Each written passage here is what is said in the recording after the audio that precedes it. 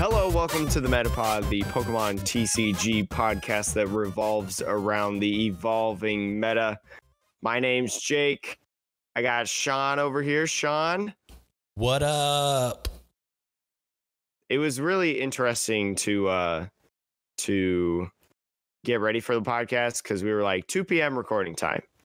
And then all of a sudden I was like, yeah, can we do it at three? Can we please do it at three? Sean was like, sure. Then Sean was like, wait, wait, wait, wait. What about four? And I was like, all right, okay. Then he's like, 4.30. And then he's like, five. And then he's like, four. Wait, we can do it right now. And I yeah, was like, no, what's was, uh, happening? I, I was lots of things being taken on and off of my calendar all of a sudden, and I was just like, "What is happening?"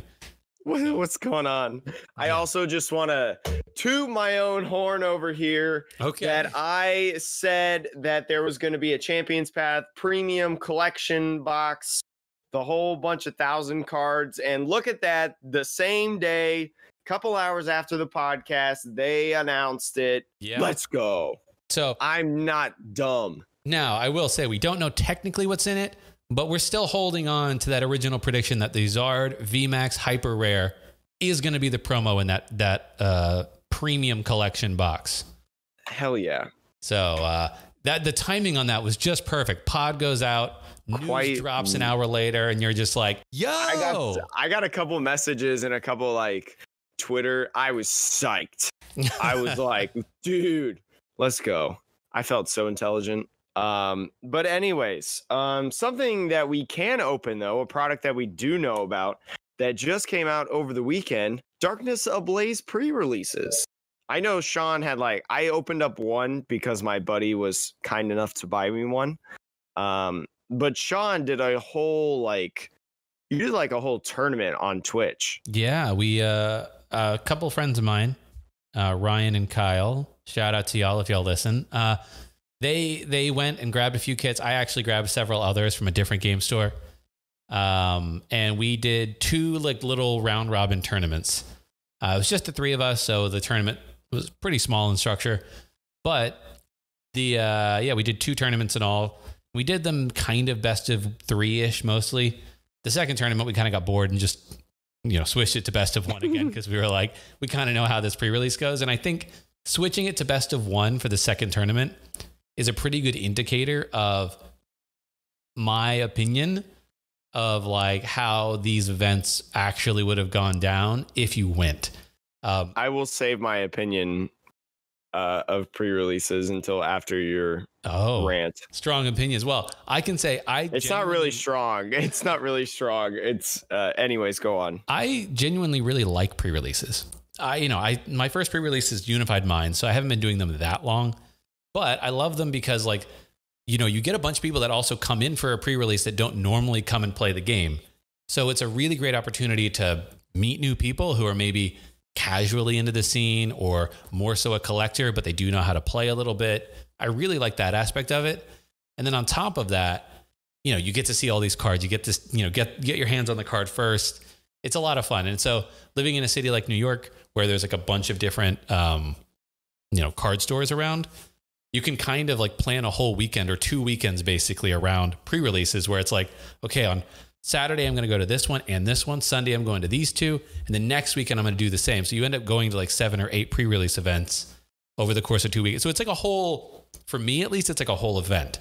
Now, what I love about them is previously, you know, you would get like your evolution kits in the decks, but then, you know, you could actually build something a little bit more unique or different uh, based on the pulls. So, like Unified Minds, you know, I was still learning how to play pre releases, like how to build decks, but Cosmic Eclipse, and then in particular, Sword and Shield, you know, if you know how to play a pre release, like building a deck for a pre release is a lot of fun. It's like the only format that's truly draft that is done by Pokemon. It's not a cube, right? Like it's a real format that Pokemon does. It's a draft format in many ways. Um, like sealed, sealed is what I mean. And so like that's fun. And like I started getting into other games because I was longing for like a bit of a sealed format kind of, you know, thing. And like in Sword and Shield, I went 20 and 3 across all my pre-releases and won like six events. And when you do that, you basically win a whole booster box worth of packs on top of what you get. So it's, you know, in some ways it can be worth it. But this one, I don't know. I just sort of felt like after two tournaments, I was like, I didn't feel like I could do anything to the decks that I built. And everyone else that I played, Ryan and Kyle, I don't think that they could do anything to the decks they built based on what they pulled. It's just like, it's almost like the, the, maybe we just got unlucky, but it just felt like the kit that you got was basically all that you could play with. And there wasn't that much variation because the evolution lines were very shared between them. So, like, several people got Hydreigon uh, and a different Pokemon. So, it was a lot of Hydreigon out there and a lot of Dracozolt. And, like, to be frank, these attackers that need so much energy to attack just kind of feel like you spend half of the game just powering something up in the back. And, like, that's not fun. I don't know. That was my opinion. I got kind of bored.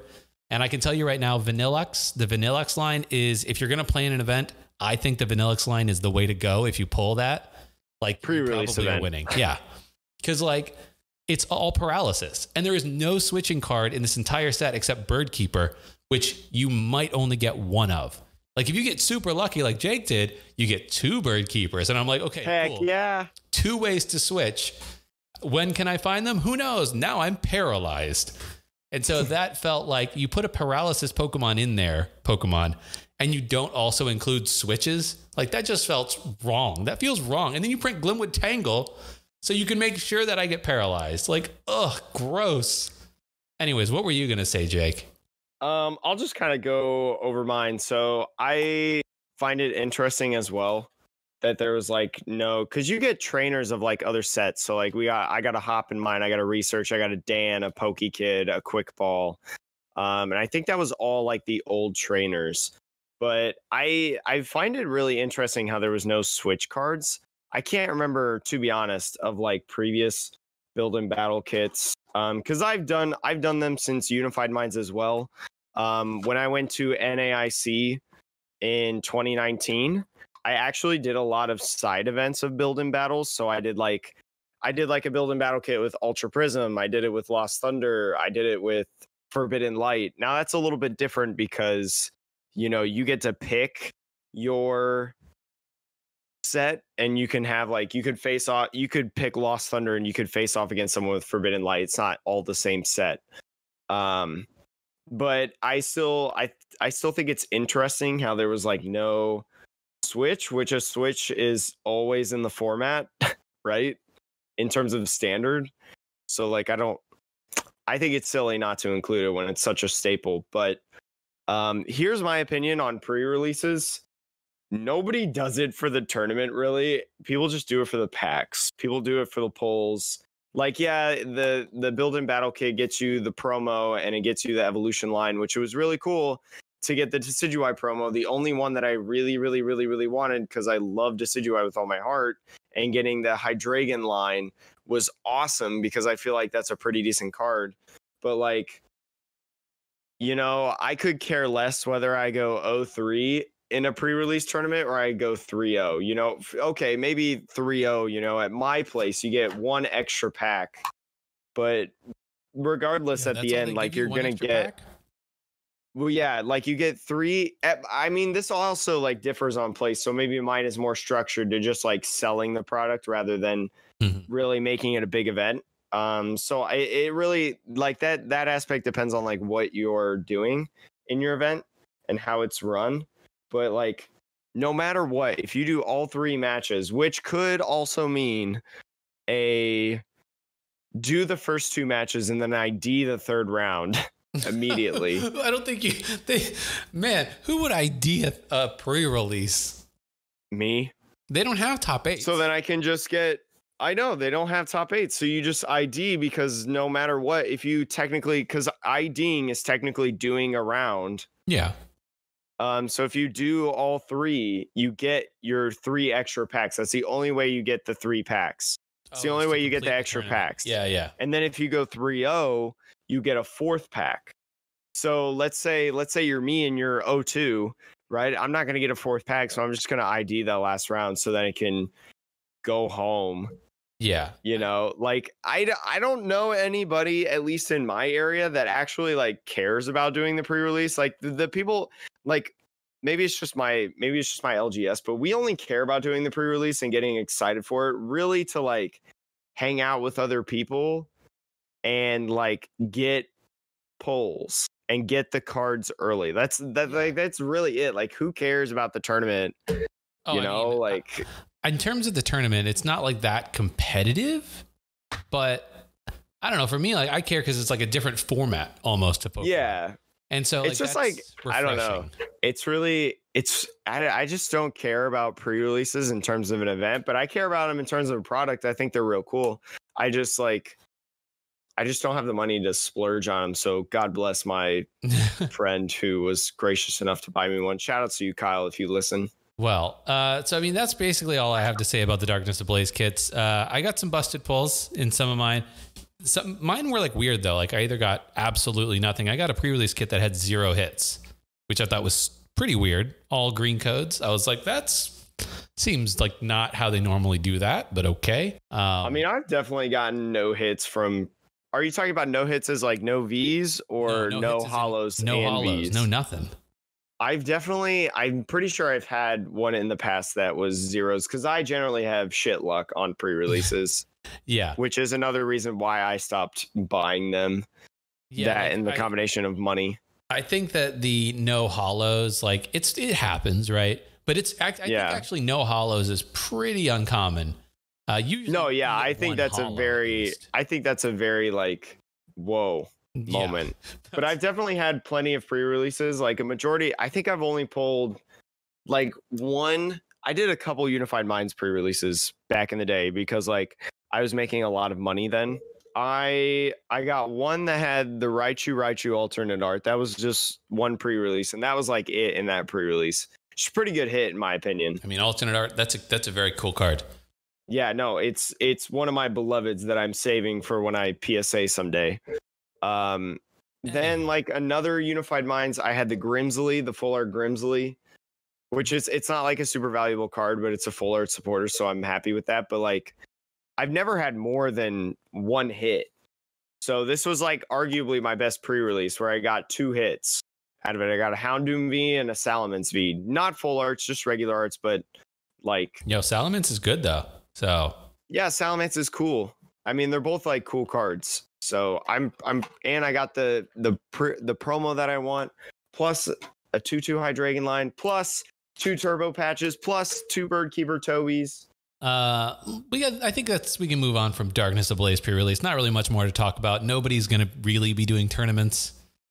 No, Um, or at least you do, I in my opinion you shouldn't. if you well yeah i mean in terms of like don't go to actual like L, like card shop but if you have a kit and you want to play with your friend just just pull the vanilla the Vanilluxe line That's yeah, all I just gotta say. just pull the Vanilluxe. easy Doesn't get any easier than that.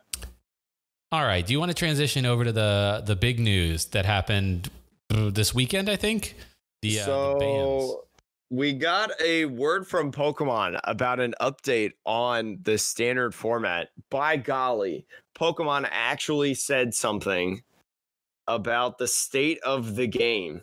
And what they said was that they were banning Bellelba, Bryson Man, and Mismagius from standard, which is like, what?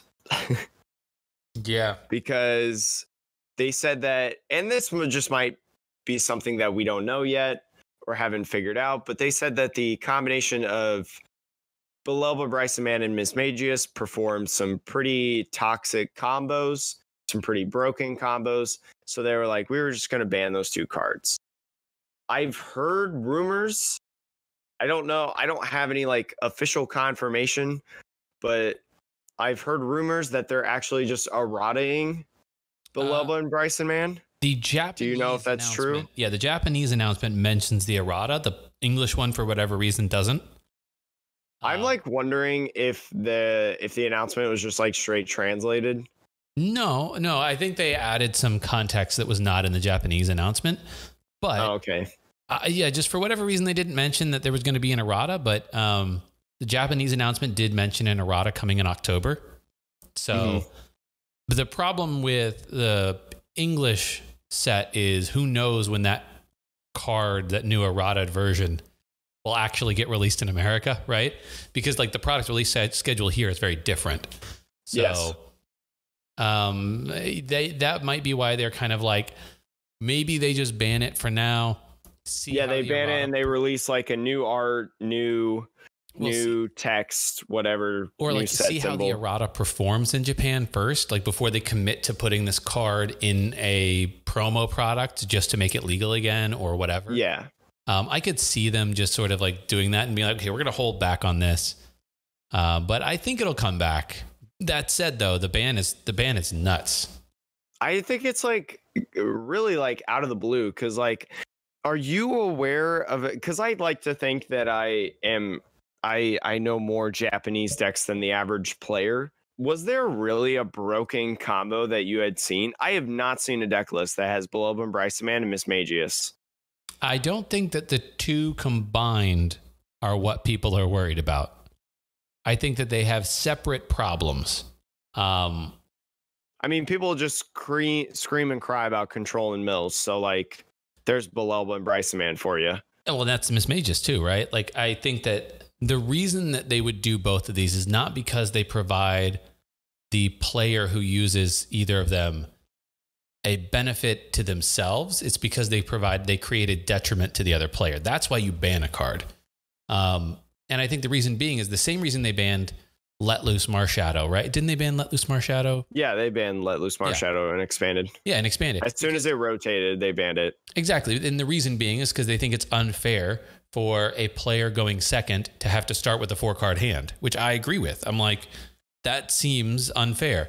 And the reason for the Mismagius ban, what they said was the introduction of another draw Pokemon in Crobat created a greater opportunity for unfair um, play, basically. Which I think what that means is like having a Crobat after the first turn doesn't. I don't. I don't think it matters. I think what matters is if you go first on the first turn, and you're playing Mismagius, which has Duskstone still in format, Mhm. and like you know, if you really built your deck to be a hardcore, I'm gonna stamp you down to not much, then like you could end up easily getting okay. I'm gonna quick ball. I'm gonna go get uh, Misdreavus, and you maybe have a, a Duskstone in hand. Let's say Duskstone, check. I'm gonna Dedenne. Throw all this stuff away. Get into another Mismagius, another Duskstone, right? So right there, Mhm. you're down. You know, once you pop those two, you're down four. You know, your opponent's down to four prizes. Stamp. It's literally the same effect as let loose. Now, maybe there was combos that got you all the way down to three or two prizes, and then you get stamped down to two before you even have a turn. Um, because I think that the trade off there is yes, the person is taking prizes, so maybe that makes it a little more fair than Marshadow. But what they said is it makes it far more consistent with the introduction of Crobat because before all you had was one Dedenne basically. You have Dedenne Yeah. And then maybe a Jirachi. But now you could have Jirachi, Dedenne, Crobat all in the same turn with scoop up nets to rotate Jirachis even.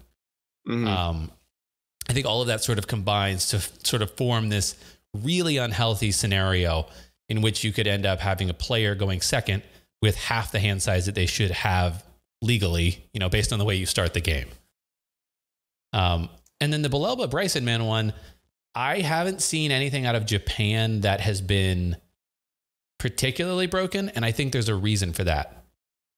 Because they're banning this when rotation happens in Japan. It's not actually banned yet. Mhm. So rotation is going to happen, and there's going to be one card that rotates out, and that card is a Oranguru with resource management. Yes. So if a broken combo like they're talking about were to have occurred in the current format, then players could potentially choose to play a Oranguru, resource management, and that is how you counter that strategy. But without a resource management or Oranguru, there is no counter to something like a toxicity Mill, right? Where you can Surge, Bellelba, Bellelba, Tox, and that's 11 cards in a turn.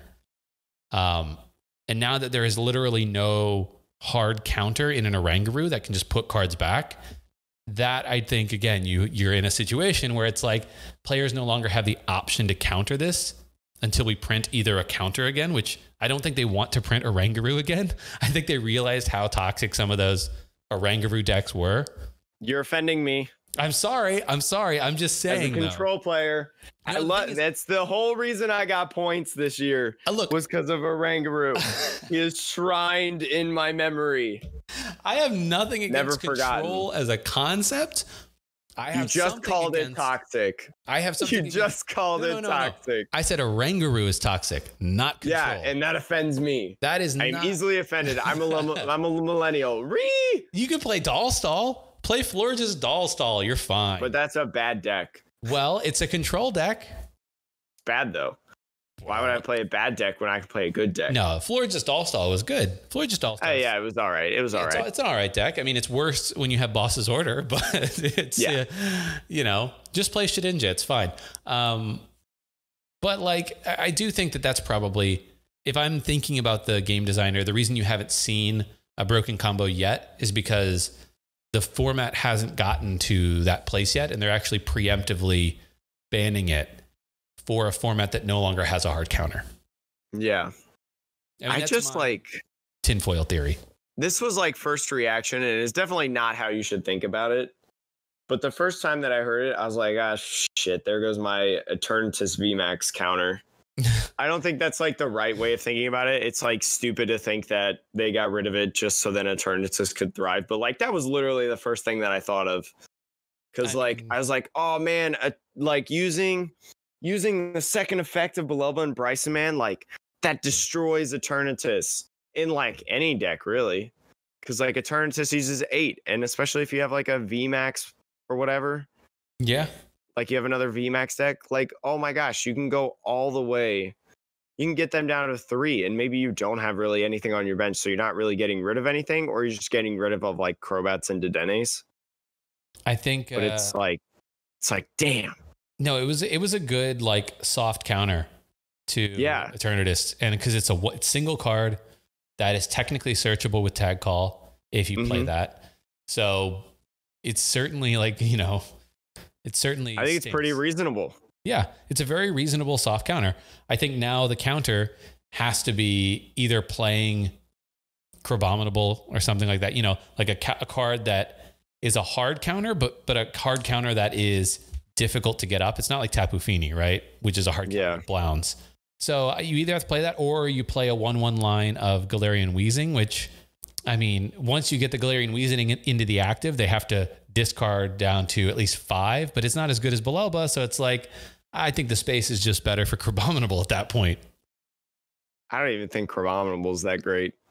I mean, it's a stage one. The problem with it is, is like without Ditto, your opponent knows exactly what's coming out. You know, you put the Crabrawler To an extent, yeah. Yeah, you put the Crabrawler down, and they're not going to be like, "Whoa, what's about to happen to me?" No, they know exactly what's happening, and then you play Boss's Order, and then you And you kill it. and you kill it. fire. Yes. So You that's what makes it a bad counter because it's not.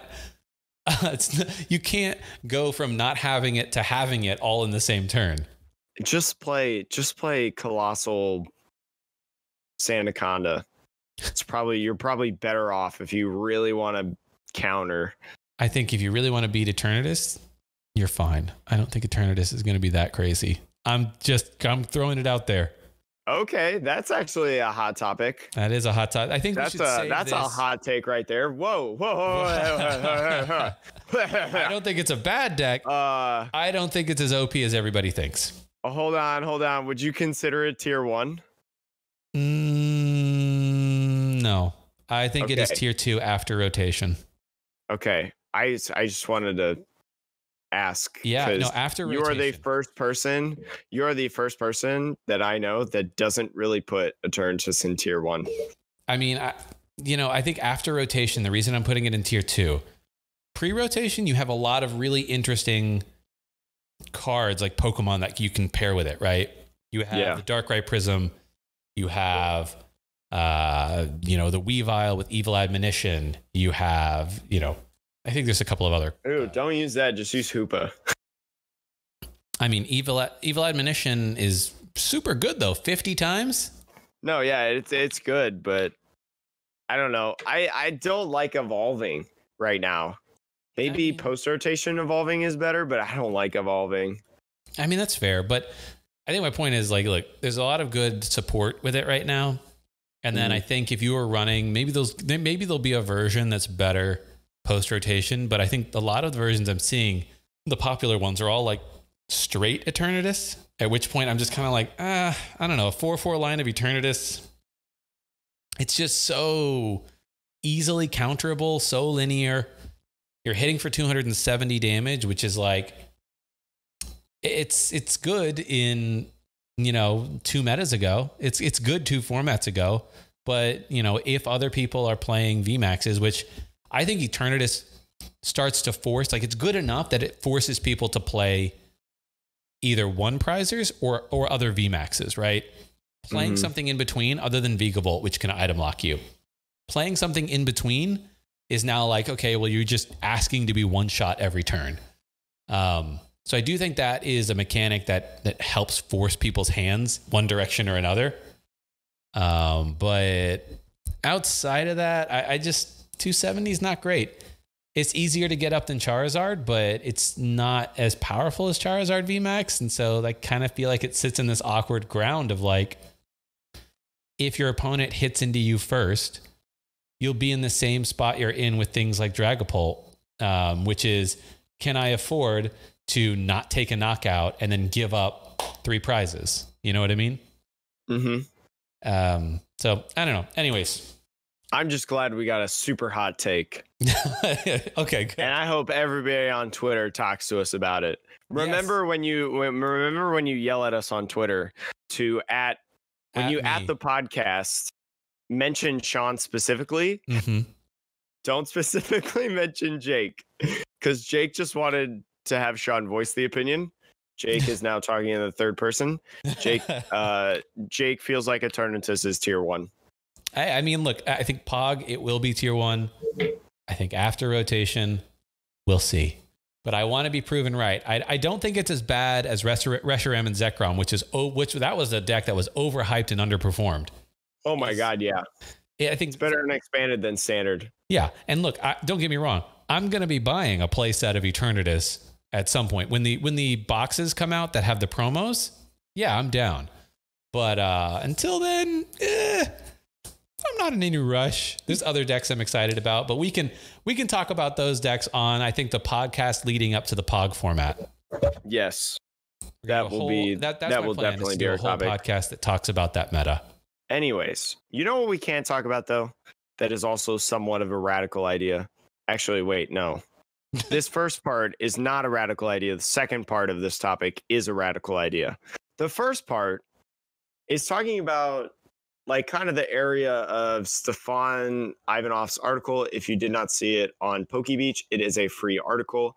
I highly recommend going to read it. It's very, very good. Posted five days ago, six when this episode comes out. What is a good format? That was the entire that was the topic of this conversation. And it, it especially if you're like us and you started playing very, very recently. Um, Stéphane really goes into in this article like the history of the Pokemon TCG going from black and white to where we are now, and then also talking about like um has a brief little section about like game design, you know, because he's he's looked at other TCGs. He's played in other TCGs a lot, so he has like a really good grasp about like card games. I feel like in terms of these different things. Like, there's a reason that Pokemon um asked him to be a part of that one Players Cup like meta analysis thing. You know, he's a he's a two time NAIC champion. Last two NAICs. I think he kind of knows what he's talking about. Yeah, Anyways, he's got a good grip on uh, on this whole thing called Pokemon.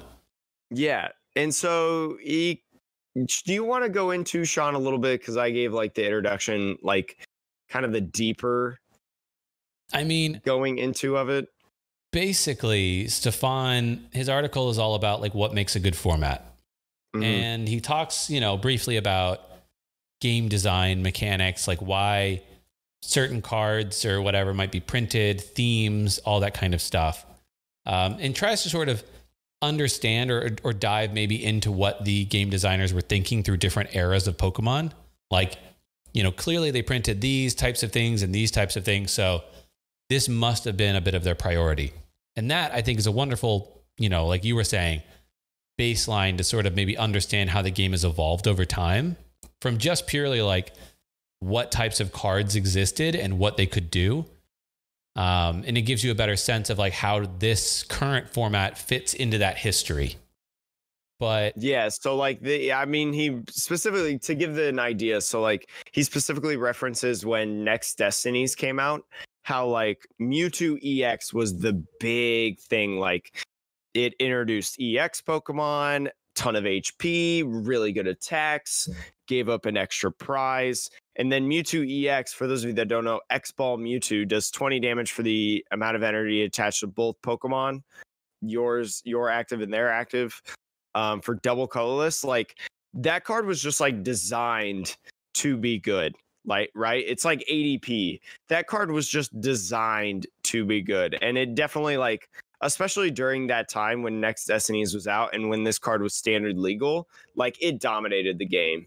Like you look at a whole bunch of different tournaments during that time, whether it's like NAICs or regionals, it's very often to have a Mewtwo EX in your deck. If your deck is not focused around Mewtwo EX, you probably have like one or two in there, right? To take down an opposing Mewtwo EX or other things. Anyways, continue, Sean. Sorry. No, no, I mean, that's like, you know, I didn't have much more to say other than like yeah, he just sort of talks about, you know, past cards, past formats in general. And, and then he sort of tries to analyze, okay, well, what, what makes formats that people look back on fondly things that people look back on fondly? Like, right? Like, what do they share? What do they all have in common? Um, mm-hmm. And then, you know, I think it's important. He, he also compares that to the current format as well. Although that's not really his point. His point is not about trying to say whether or not this format is good or bad, simply giving this format a context with which to compare it. You know, he, he I think he arrived at a few different um, principles for Pokemon uh, about like what makes a format typically considered good. Um, and I think the first one of those things are a variety of play styles are viable. Um, and what he cough cough sword and shield format. Yeah. Yeah, not not well. I mean, there was two play styles, but the point that he was trying to make is like different play styles, meaning like you can go super straightforward, you know, like attacker play style, like aggro, take prizes, all that stuff. You could also play slow. There's definitely setup decks um, that are still viable in this format. Uh, maybe not this one, but that would be viable in a format. You have mill decks, you have control decks, you have stall decks.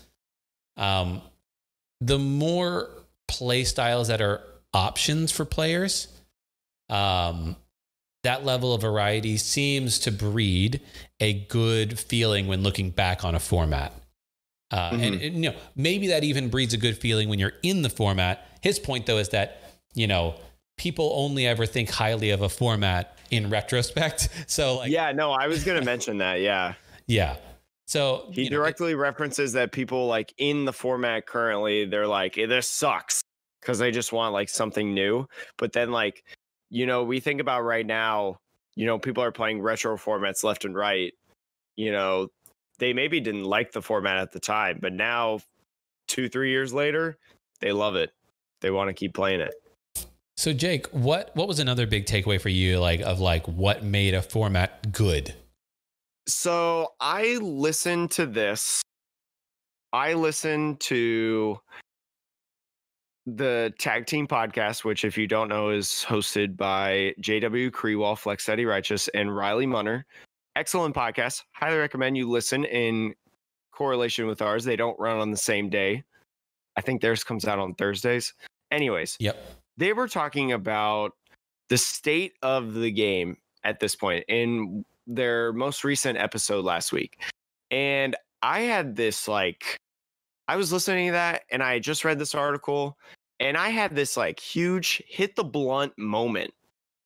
And I was like, what if Pokemon TCG became so complex? You know, because we talk about everybody screams that this format's too linear. This format is not very skill based. Um, it's very like RNG heavy almost, right? Um, Yeah, there's a lot of variance in the format. yeah, it's not like it's not it's not a super skill base as let's say like Drampa Garb or uh Decidueye Vileplume, that type of deal. Anyways, continue on. I was thinking, I had this thought of like, what if Pokemon was too complex, that it was too intimidating for the average Pokemon fan to pick it up and learn and become like a player, a competitive player, not necessarily someone that like wants to win worlds, but somebody who consistently like buys packs, buys different products, goes to an event, whether that be a cup or challenge or, you know, even like a local weekly league. You know, what if it was too complex for a new player to come in and learn that type of thing and thus brings in the introduction of tag teams and this different era that makes Pokemon less skill based because I think it's obvious that Pokemon does not want to be Magic or Yu Gi Oh! right? Where there's like, where there is so much going on and there's so many cards and there's so many Yeah, I mean, different have- things. You don't have in between, like you don't have interactions between players Yes. directly, really. Like you know, you um, Magic and Yu Gi Oh. If some player does something on their turn, you can potentially respond. So, from a really baseline perspective, Pokemon doesn't even have that. Po- what if what if where where Pokemon was like two or three years ago before tag teams? What if that was getting to a point where it was becoming like Yu-Gi-Oh or Magic? And so Pokemon was like, okay, we got to hit the brakes. Like we got to we got to introduce these like really big powerful things to like approach this power creep and then we got to start cutting back a little bit, which I think is kind of what VMAXs are doing because VMAXs are like they're two shotting a lot. And although we haven't really seen a lot of it yet, because like with the idea of like we still technically have tag teams in the format, right? This is like it'll be it'll be once like I think we'll start to see it a lot more once the actual tag teams and GXs rotate I mean, fully. uh, you mean after the next rotation, not the one coming up, but the one after that? I think the one coming up takes out a lot of tag teams. Nope. Uh, but we still have It doesn't take no, out any. no, no, no. What I mean by that is like playable. No, no, it doesn't take But, out like, any tag teams. No, I know like no tag teams actually specifically Oh, rotate because it's just- team up on. Oh, the new Like they don't dominate the format. Yeah, yeah, Yes. yeah. Yeah, they're like less it's less prevalent and stuff, but I don't think I don't think we really see VMAXs as they are until all that era leaves. So yeah, I had I had this like this is what I was meaning earlier when I was saying radical of like what if Pokemon was just too hard? What if Pokemon just got too complex? Right? Sean and I started in the tag team era, you know, and I started thinking like what if this is actually like almost the best time to get into Pokemon and like learn the game at a base level, right? I'm not saying that I'm going to be the next Michael Prim. I hope I'm the next Michael. Well, I would be honored.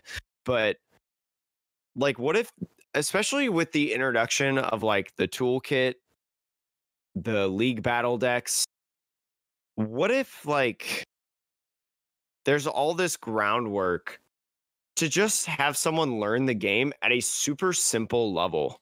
And like this is the best time to get people into it. I don't know. I had that question and I immediately texted Sean and Sean immediately said, What the fuck are you talking? I'm just kidding. He didn't say that, but like I'm sure that crossed his mind. But mean- I was just like, it makes sense almost, right? Like, I don't know. This just makes sense in my head.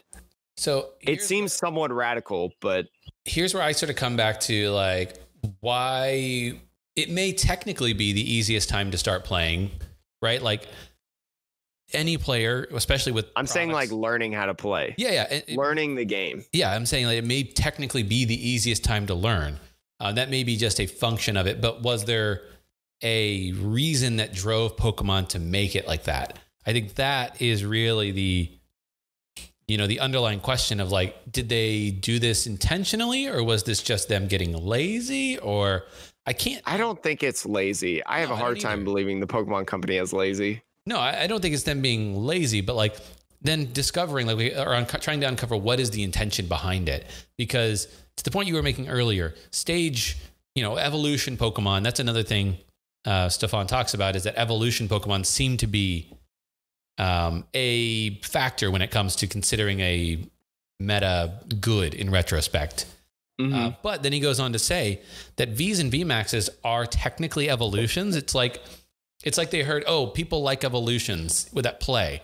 So we're going to print big evolutions. And it's like, well, no, that's not the point. The point of evolutions is evolutions give you unique abilities, and unique abilities in a variety of decks adds to a lot of like creativity and variation and and health in a meta.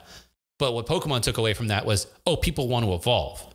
And so they gave us these VMAXs that don't really add abilities that are that useful beyond their obvious archetypes, right? Like Eternatus, the Eternatus archetype is literally baked in stone. Like, like you know, you, I don't, um, I can't imagine there is a way to play Eternatus that does not involve only playing darkness type Pokemon. Because why would you? Right? like, like the, the ability is just so limiting in and of itself. It's so insular. Um, Shit, that's a big word. right. But the, it is, right? I don't know what that is. It's just inward looking, right? Okay, cool. It's it's it's an ability that is is so inwardly focused on like it's an ability to enable me to do a specific thing. It's not an ability that enables me to help other decks or other archetypes. It doesn't partner well. Do you know what I mean? yeah. Um, so I think that is something that that was missed maybe when when Stéphane was saying evolutions are good because they offer you these abilities. That that's a thing, right?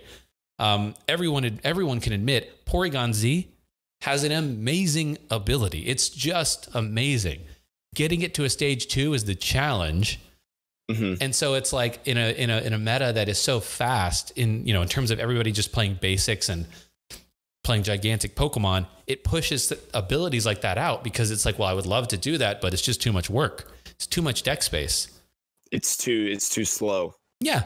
Um, so I think that is sort of um, a challenge when it comes to these these designers of like they seem to have not gotten the right message from these old formats and now they're moving into this and like I, I don't know like if the health of the game is any necessarily better or worse yet i think it's better than it was when sword and shield first released Oh we talked god, about yes. this before like Oh, adpz God, yes. control is just that that was just boring It wasn't control. That Or was mill, not control or in whatever. any sense. Yeah, it was just straight up mill. um but like There's no reason to call that control. but like that was that was a boring format but what if like it's just becoming easier to learn how to play, right? I would think that I would think that easier to get into the game competitively right now than it ever has been, not only with the products, but also the cards and the format. You know, not disregarding the fact that we are in such a information sharing age, right? Like I'm Mhm. sure I mean we still had the internet in like 2017. Um, but like disregarding that fact, that aspect, i mean how many I don't people know. go into yu-gi-oh now like if you were to walk yeah, like I don't I don't know. my my brain explodes watching some of those plays same thing with I magic, mean, magic magic is a little bit different because magic has magic the arena Mhm.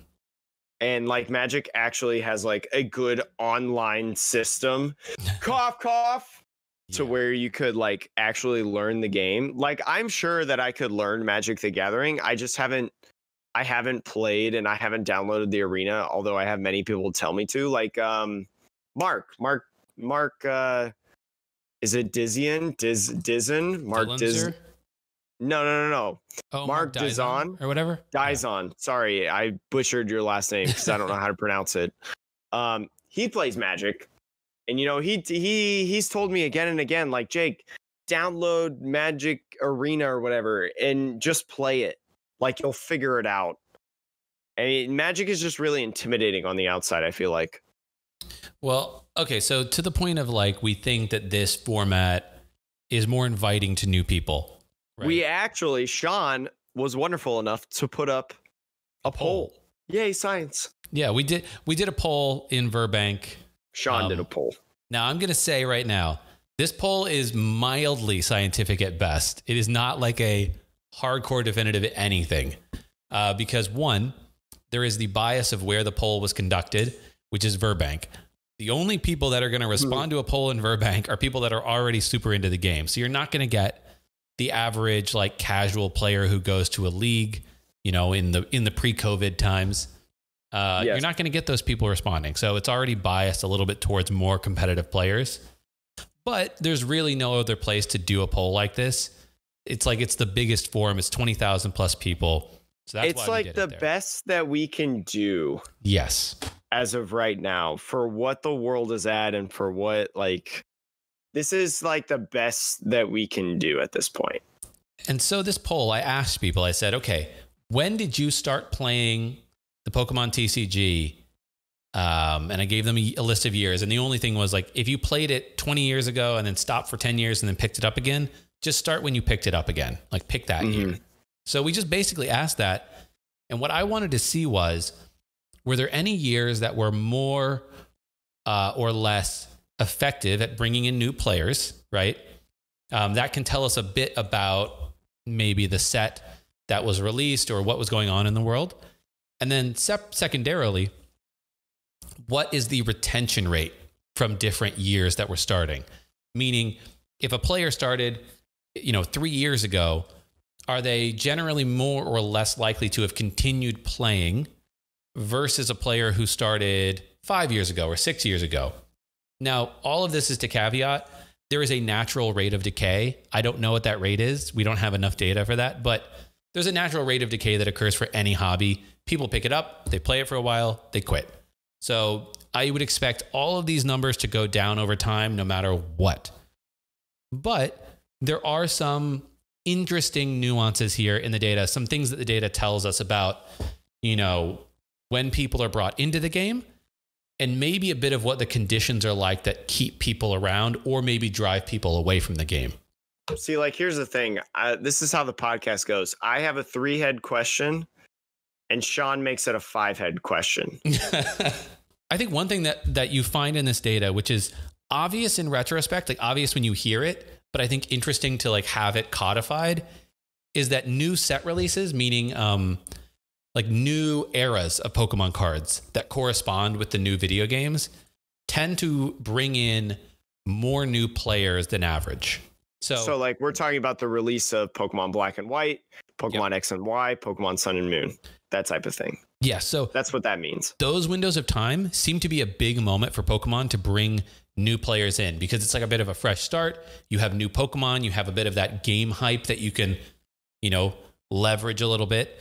So what we see in the data is once you get past maybe like 2010, 2011, there's so few respondents that I'm not going to talk about that. It's just, you know, people who've been playing that long, like props to you, but uh, you are a small and uh, passionate bunch.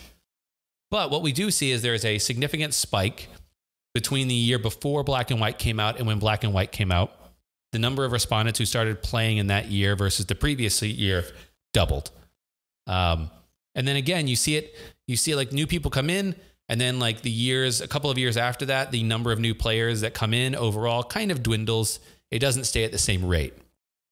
And then boom, like clockwork, 2000 and uh, 2014, you have the release of the X and Y base set. And you see a pop yet again in the number of players who came into the Pokemon TCG and have stayed in that era. So 2014, you see a, a big jump. Uh, and then you have that exact same thing happen at the beginning of the Sun and Moon base set. Actually, the Sun and Moon base set group is the largest group of player respon- of respondents that started and are still playing of the entire poll. Not this year, not last year, not the year before, but 2017. I think that also um, because like XY Evolutions came out that year, right? Um, no, no, Evolutions came out the year before. It came out in 16. Yes. Shit, never mind. um, now, look, you could say that, and I will say, look, in this data, it also seems to be a trend that you have a base set year where people are brought in. You have the year after that, and fewer people typically get brought in, according to this data.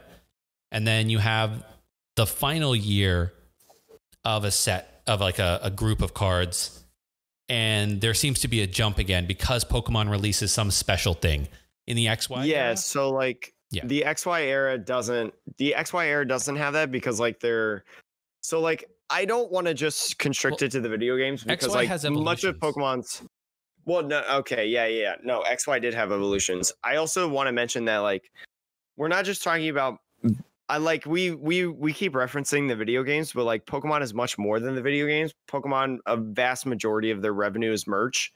We recognize that, but I think for the average person, it's easiest to talk about the video games because like the merch comes alongside the video games, right? New era of merch. There's new Pokemon, you know, in the new video game as well. So I just I I don't know. I feel like it'd be weird if we didn't say that. So that's I just wanted to throw that out there real quick. Yeah. So I think the the point you're making though is like, you know, 2016, the last year of XY, they released Evolutions, which is a hugely Mhm. popular set. And then the last year of Sun and Moon is when all the tag team Pokemon come out, which is a huge marketing tool for them, right? You have Mhm. the poster child Pikachu alongside Zekrom as this and then Charizard is one. Well, Exactly, that was the next set. That was the next set. But it's yeah, you've got these big old Pokemon with big HPs, and you can stick them on all your promotional materials, and yeah, it brings people in. Um, so what I wanted to look at though, like, so that's like one thing, right? Is there's clearly inflection points that Pokemon creates with new sets and then special collections. The question is, when it comes to like, is the meta bringing in or re- you know retaining players? Is what is the retention rate uh, from one year to another, and how does that drop off after those inflection points?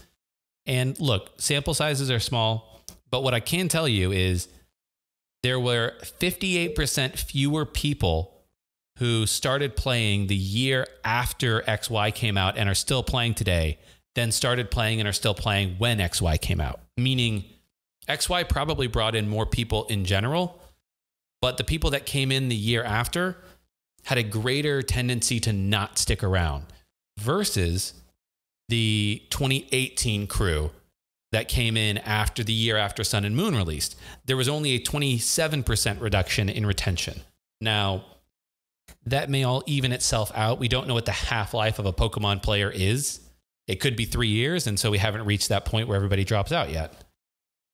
But that might suggest, to Jake's point a little bit, that the introduction of things like GXs and you know subsequently all of these big old basics, even if you didn't start playing when the big basics came out, maybe these big basics are what you know has made it simple enough for people to keep playing. You don't drive a few people away who may have been driven off by over complexity in previous eras. Even though, you know, a lot of players look back on that fondly, it might be complicated, too complicated to people. So I don't know. What do you think, Jake? I find it really interesting. I also looked at numbers in terms of how many people went to like different events throughout the years. So like I'm talking about like regionals, I'm talking about internets, worlds. I tried to just restrict it to American standard events because I feel like that just has the most people, that has the best or I guess I should say more consistent data. So it's like I looked at the numbers in terms of like, did Pokemon actually get too hard? Like, is there like a somewhat of a drop off? You know, like, is there a considerable number between Masters players? That's what, that's all the information that I could find through Limitless. Is there a drop off in Masters players that could further lead So uh, what what were your findings? I'm just trying to like, get to the there's no meat. like there's no like huge it's not like oh my gosh there was 200 people dropped off from one year to another. But you look at collinsville collinsville had a ever so slight drop. It was a drop though. Roanoke had a drop. Madison was weird because madison in 2017 had like 530 2018 had 730 which is a huge jump but then in 20 um 19 it jumped back down to like 580 so like i don't know what to think about madison well, um it's just kind of everywhere I- and then internet's like almost has that same thing except 2019 was the lowest year out of the last three four years Yeah, I it's so tough. I, I don't know what other factors may have gone into that, right? Like I want more year- data with one year on a everything that we've talked about. Was one year on a weekend that had more travel capacity, meaning like Exactly. people could take off work. Yeah. Was one weekend the only weekend within a three month window that there was any event in that region? Um, it could it could simply be the internet's happened uh, in Columbus one year, and that year they didn't have anything else nearby. I don't know within a three month window, and that that could simply be that's just pent up demand, right? That you just didn't have. It It doesn't really say anything about the format. It lays towards the general idea of like the information that we have is not perfect by any means. We don't consider it to be perfect, you know, but it's like it brings up ideas and concepts, I feel like. I there's a lot of data that I see, and I constantly am reminding my the people I work with and my clients like having data isn't the same thing as having useful data. So, you know, there may be something in this.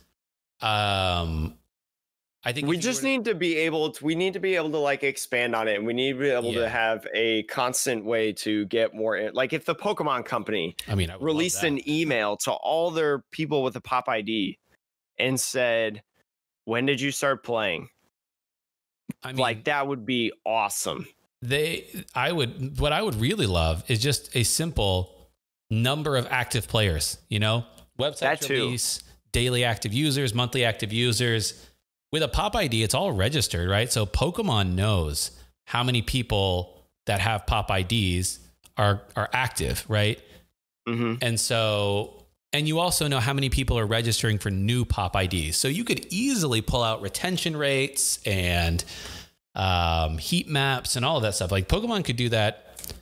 Now I don't know legally, like since some of those are kids, and then you have data collection of minors, and uh, I don't even know. That Oh, may be God, why the yeah. data is never made available. well you could separate that because Yeah, like doesn't masters? isn't when you like when you have a pop id it says your date so like you could just scrap all those and just take the masters Uh, you could, yeah, you you probably would have to like because you've already technically like you've already like connected the data in a sense of like you know when you fill out the form to be a official pokemon player and you get your pop id like you have to give them your birthday Yeah, yeah, you do. But I don't know if like they have protocols on recording that data and keeping it for any amount of time. see i Um, don't know either i don't work may- at That pokemon may be why they don't do it is because they're like, eh, we don't see any value in this. And it's more of a liability than anything to like hold this data, especially with GDPR. So that, Mm, what is may- that Uh, the like European Privacy Protection Act. okay Um, cool Yeah, it's just like a data thing for Europe. And so once that went into effect, Pokemon may have just been like, you know what? We are not keeping any of this data more than a year because we'll keep it long enough to have, you know, points totals. I, I don't know. Who knows? I just like I think it's an interesting idea. It is definitely radical.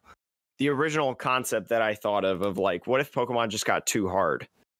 I think it's somewhat valid, radical. right? Because I think it like if you think about their like product market fit, right?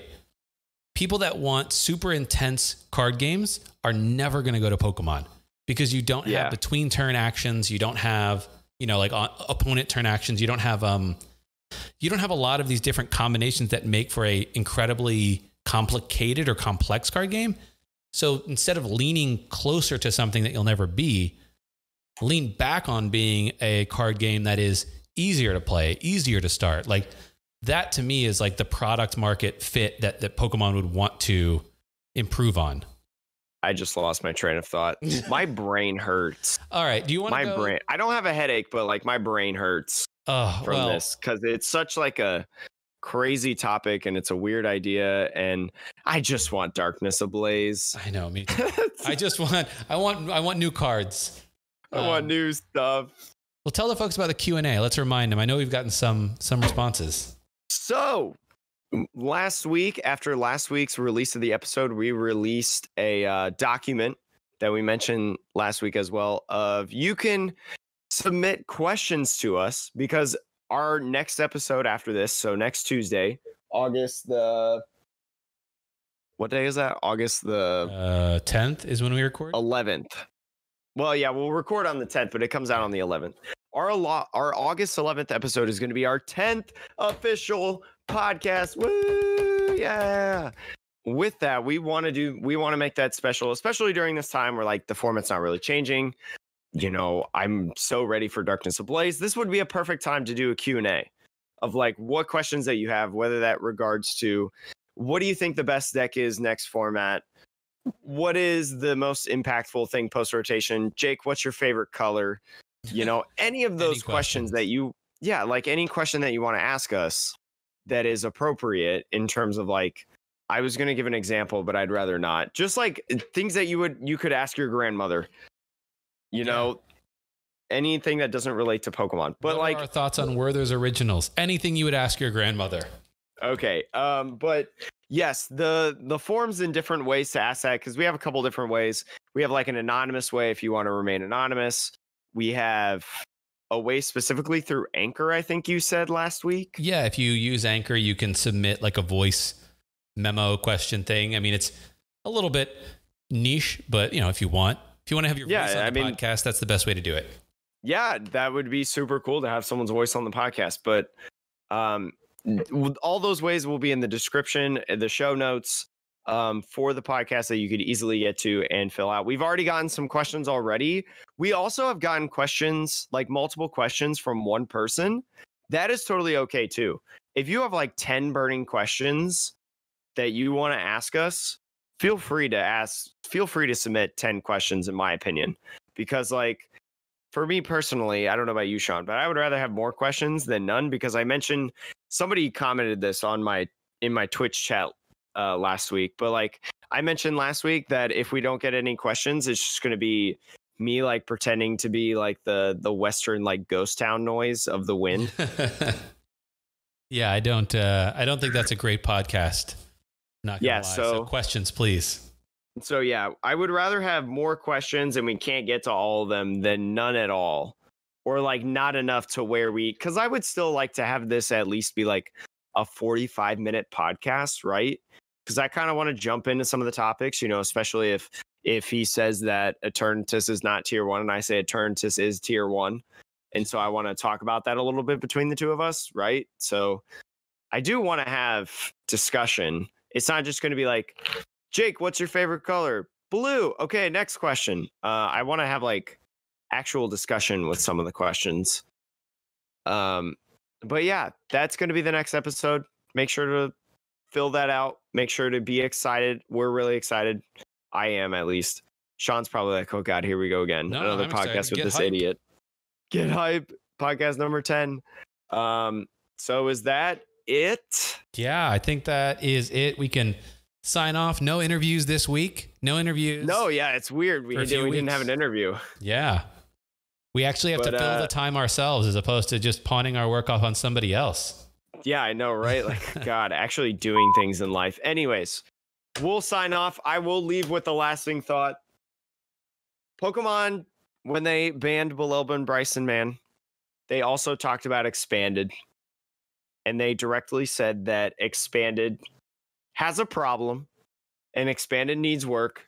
But because there are no expanded events, they're not doing anything about it. That's basically too long, didn't read. Yeah, such a lazy response, honestly. Yeah, I think that's bullshit.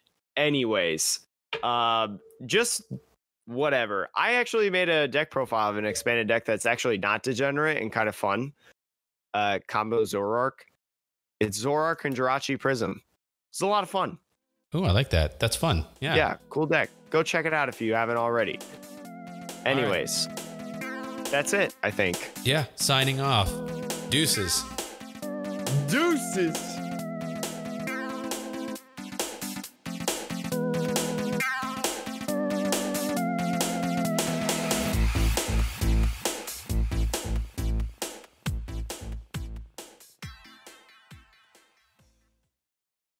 My god, there's a squirrel on my window. Holy cow, that was that freaked me out for a second because I was like, I should not see anything in my peripheral vision.